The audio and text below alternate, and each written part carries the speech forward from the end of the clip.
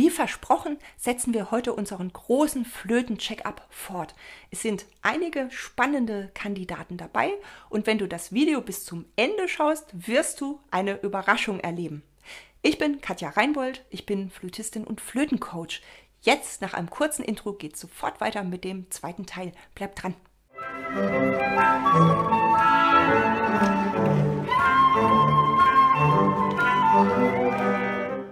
Dann geht es jetzt mit Christine weiter. Christine spielt Even Star aus dem Herrn der Ringe.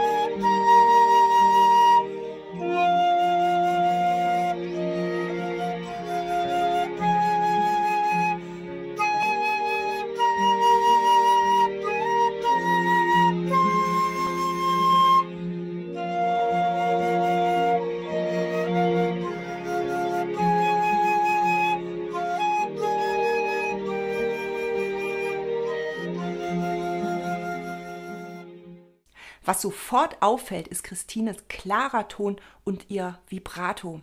Und wer das Stück nicht kennt, es steht in F-Moll. Das ist echt eine anspruchsvolle Tonart und Christine geht souverän mit den vier B-Vorzeichen um. Die Atemtechnik ist gut und im Vergleich zu Benno die Mundaktion kleiner. Das sieht man natürlich durch die ähnliche Perspektive jetzt ganz gut im Vergleich. Und dadurch, dass Christine eine etwas kleinere Mundaktion hat, beziehungsweise den Ansatz nach dem Atmen besser bilden kann, schneller da ist sozusagen, sind auch die Tonanfänge etwas besser. Christines Zählen ist Segen und Fluch zugleich. Durch ihr akribisches Zählen ist sie sehr rhythmussicher. Aber man sieht das Zählen in der körperlichen Bewegung und damit zerhackt sie ein bisschen die musikalischen Zusammenhänge. Alles, was man körperlich sieht, hört man auch im Ton. Stattdessen ist es viel besser, Linien zu denken und weniger mit den Füßen den Erdboden zu berühren bei solch einer Phrase.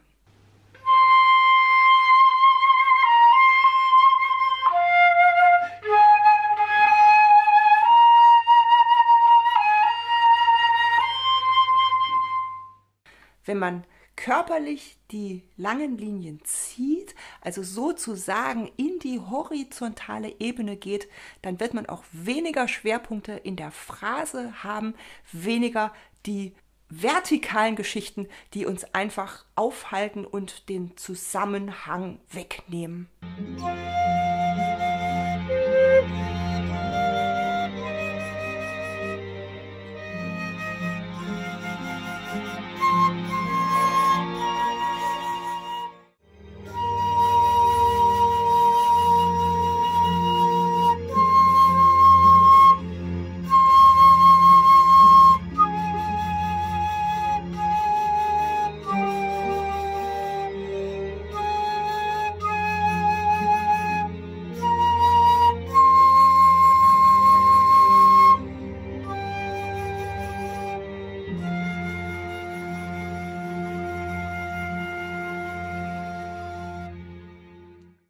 Dann fasse ich das hier auch einmal kurz zusammen.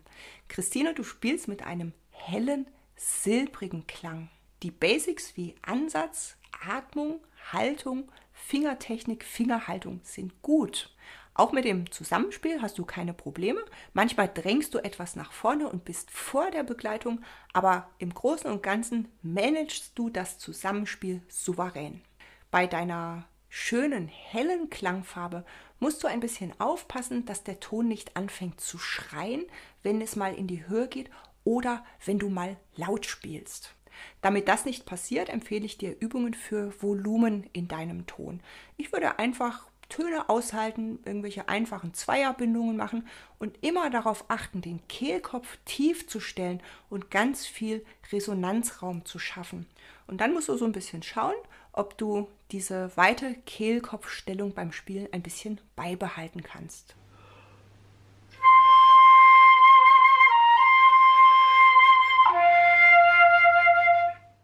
Sobald du die Lippen zu fest hast, ne, da kriegst du eine hohe Luftgeschwindigkeit, der Ton wird obertönig und scharf. Das ist etwas, worauf du sehr achten kannst, dass du die, den Druck, den du fabrizierst, ne, du spielst ja auch ordentlich mit Gas und, und greifst die Töne an, was sehr gut ist. Aber du musst das eben auch rauslassen. Und wenn du das festhältst mit den Lippen, dann geht der Ton nach oben weg und wird zu obertönig. Ja, das ist viel zu gepresst und auch zu hoch und zu unflexibel. Gucke, dass du ihn runterkriegst, dass du die Lippen ein wenig lockerst, damit der Ton auch rauskommen kann.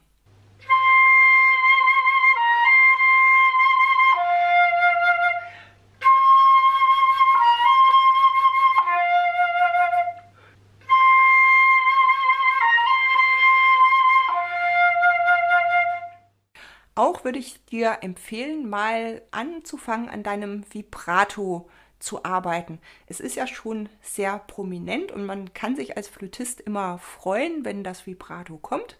Ähm, aber optimalerweise sollte man das Vibrato beherrschen und nicht das Vibrato einen. Und bei dir hat man so ein bisschen das Gefühl, du bist so ein bisschen Fahrgast bei deinem Vibrato. Das kommt halt und du freust dich und machst, machst da aber nichts dran.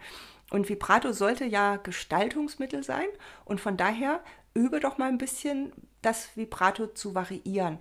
Versuche mal ganz, ganz gerade Töne als erstes zu machen, ohne jegliches Vibrato. Und ich wette mit dir, da hast du schon deine ersten Schwierigkeiten. Du musst als erstes lernen, das abzustellen und dann kannst du auch nach und nach lernen, mit einzelnen Schwingungen es wieder anzustellen. Und auf die Art und Weise wirst du ganz locker und flexibel mit deinem Vibrato umgehen können. Denn es ist eine ganz schöne Sache, das Vibrato wirklich gezielt einzusetzen als Klangfarbe. Ich habe schon mal ein Video zum Thema Vibrato gemacht. Vielleicht schaust du dir das nochmal an. Deine Phrasierung kannst du noch verbessern, indem du mehr deine musikalischen Höhepunkte anspielst. Schiebe deine Luft wirklich bis dahin und denke eine Linie, ohne jeden einzelnen Ton oder jeden einzelnen Schlag so wichtig zu nehmen. Das Zählen, das machst du nur im Kopf. Das braucht man im Körper nicht zu sehen und schon gar nicht im Ton zu hören. Also versuche viel mehr die Bögen zu spannen und größer zu denken. Dann wird deine Musikalität auf jeden Fall noch mal viel, viel besser werden. Vielen Dank für deine schöne Einsendung, Christine. Der nächste Beitrag ist von Florian. Er hat zwei Sätze des Flötenkonzerts G-Dur von Karl Stamitz eingesendet. Hören wir mal ein bisschen in den ersten Satz.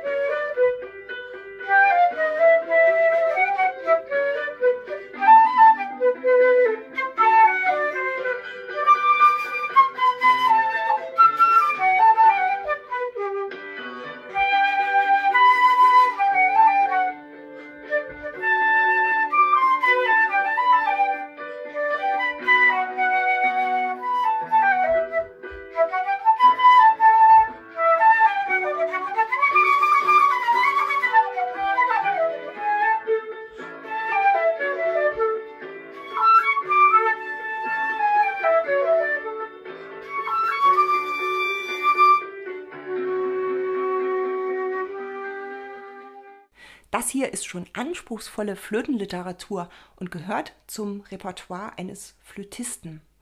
Florian spielt das Ganze tonlich und technisch auf einem anständigen Niveau. Am überzeugendsten ist für mich Florians Musikalität. Er weiß ganz genau, wie das Stück klingen soll und spielt es mit großen, fließenden Linien und guter Phrasierung.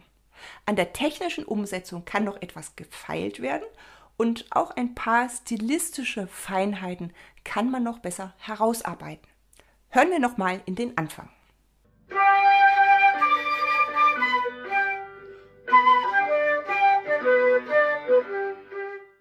Damit der Allegro-Charakter besser herauskommt, würde ich die punktierten Viertel mehr absetzen und auch die folgenden Viertel viel federnder spielen. Auftakte müssen generell leicht genommen werden und natürlich ist vor dem Auftakt zu atmen.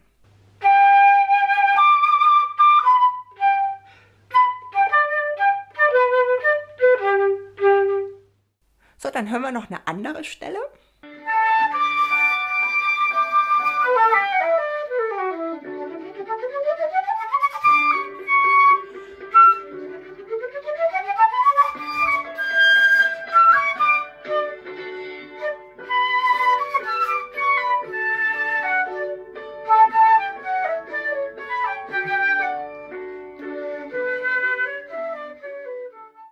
Klang könnte insgesamt durch die Lagen noch ausgewogener sein. In der tiefen Lage kommt noch recht wenig. Florian müsste mit mehr Luftdruck auf die Kante spielen, um den Kern in der Tiefe etwas herauszukitzeln.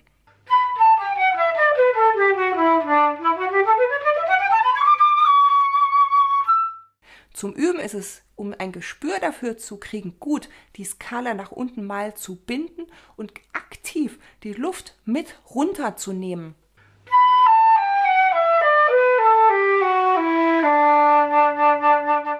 Und danach, je nachdem, ob man das kürzer spielen will, in den kürzeren Stoß.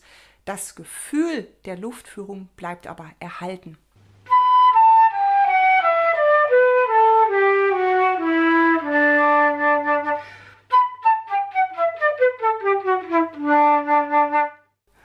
Und natürlich das Fassen des Ansatzes mit den Lippen. Ein ganz großes Thema bei Florian ist das Timing. Er ist ganz oft hinterher. Es ist ja auch jede Menge Zeug zu spielen, das muss man erstmal schaffen. Aber man hat einfach wenig Zeit zu atmen. Und um pünktlich weiterspielen zu können, ist man gezwungen, die vorige Note vor dem Atemzeichen extrem zu kürzen. Es ist wichtiger auf der nächsten Note pünktlich zu sein, als die Note vor dem Atemzeichen bis ran auszuhalten. In Takt 125 ist das zum Beispiel gar kein Problem. An der Stelle kann man wunderbar atmen und dieses Cis kann man einfach kürzen. So hat man genügend Zeit, sich nochmal ordentlich aufzutanken und für die nächste Stelle Reserve zu haben.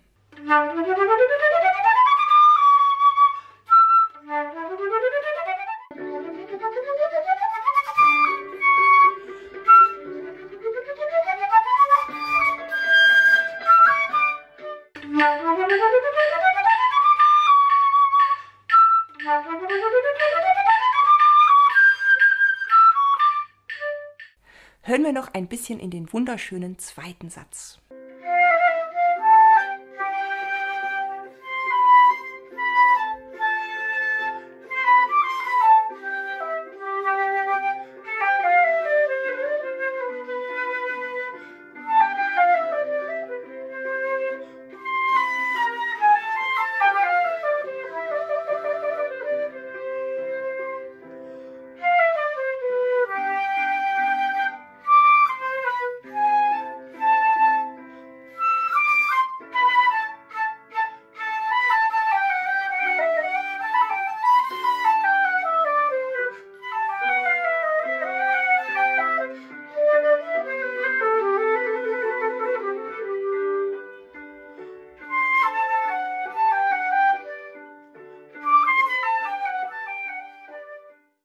Sind die Bindebögen schön abgezogen und die Leichtigkeit, die der zweite Satz braucht, wird absolut hörbar. Wieder ist das Timing nicht so gut. Florian ist oft hinterher und die Mittellage ist so ein bisschen brüchig.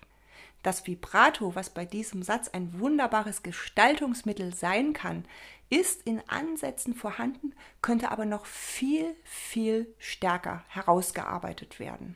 Sehr schön ist es, dass man durchaus dynamische Unterschiede hört in seinem Spiel. Hören wir noch ein bisschen in die Kadenz des zweiten Satzes.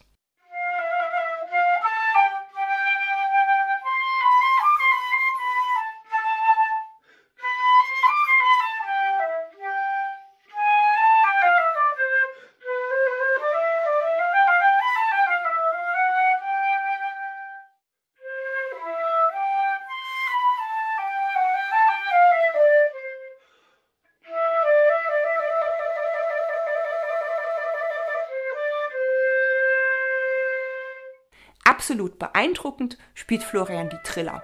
Die sind mit ganz hervorragender Fingerfertigkeit technisch sehr, sehr gut gespielt.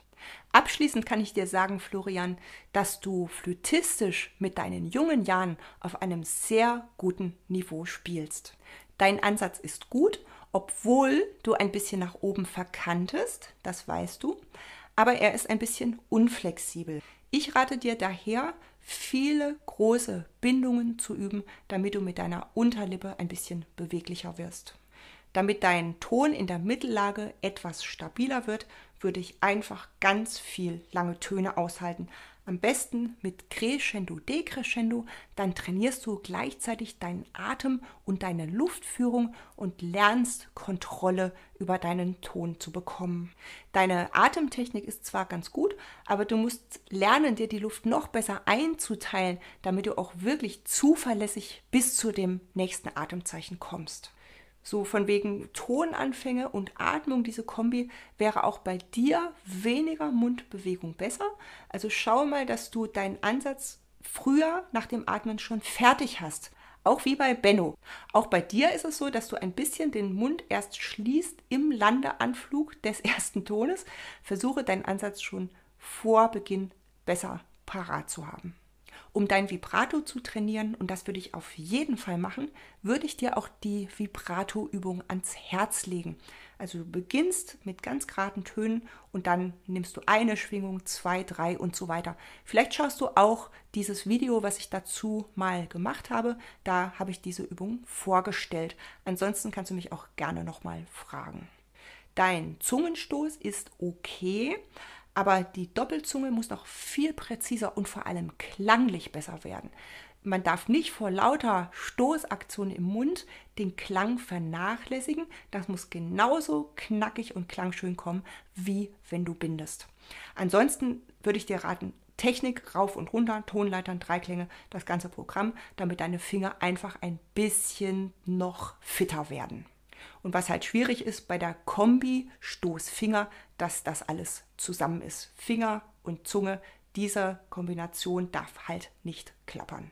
Ich sage dir das jetzt so ausführlich, weil du mir gegenüber den Wunsch geäußert hast, Musik studieren zu wollen.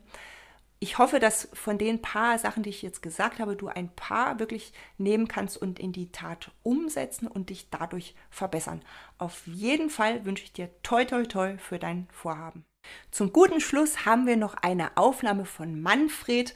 Die habe ich bis zum Schluss aufgehoben, weil das ganz anders ist als alles, was wir bis jetzt gehört haben. Das hören wir uns jetzt mal an.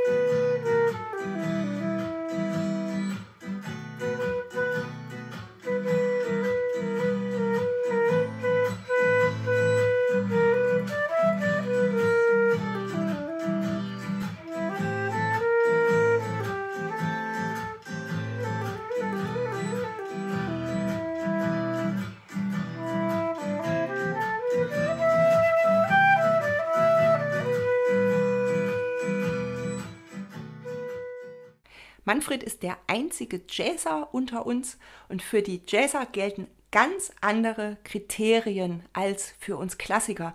Sie haben eine ganz andere Vorstellung von Präzision und von Klang als wir klassischen Flötisten. Ich gebe zu, ich habe nicht allzu viel Ahnung von Jazz.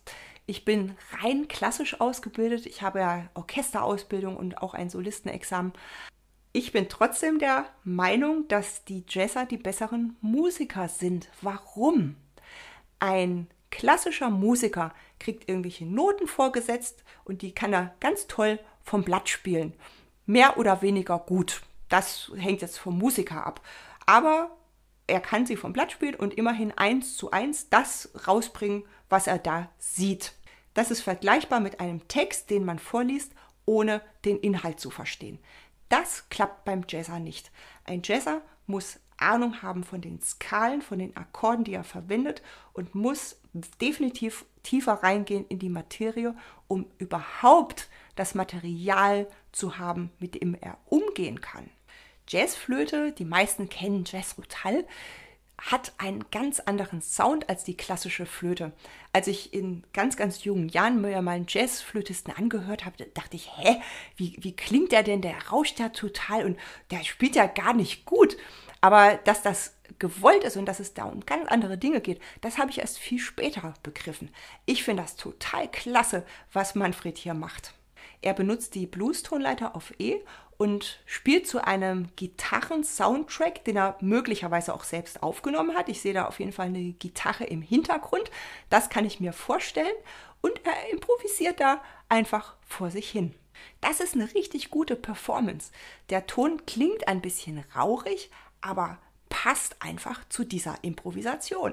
Ansatz und Haltung sind gut, die Finger könnten etwas runter sein, das Timing mit der Gitarre ist hervorragend.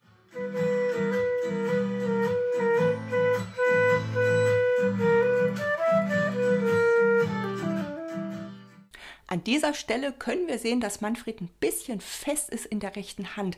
Er arbeitet ein bisschen zu sehr aus dem Handgelenk, anstatt lockerer in den Fingern zu sein. Das würde dem Tempo in seiner Improvisation sicherlich helfen. Er würde noch mehr Speed drauf kriegen, wenn das hier alles ein bisschen lockerer wäre.